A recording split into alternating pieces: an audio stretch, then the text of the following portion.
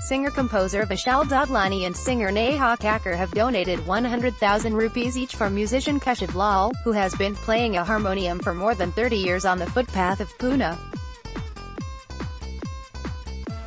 Keshav Lal was invited to the set Indian Idol 10 where the participants and judges of the show paid him a memorable tribute.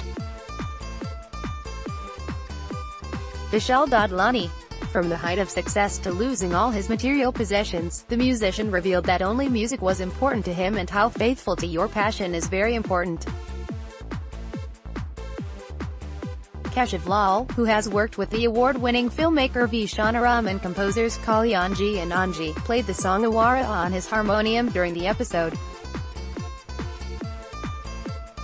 Vishal and Neha announced a donation 100,000 rupees each. It was a privilege to see Keshav Lalji on the show. It's so great to see a man who is so loyal to music all his life. He's an inspiration to us all, Vishal said in a statement. He has taught us that you can never leave his passion. No matter what happens, I will urge all my friends and people in the industry to do their best and help Keshav Lalji in the best possible way, he added.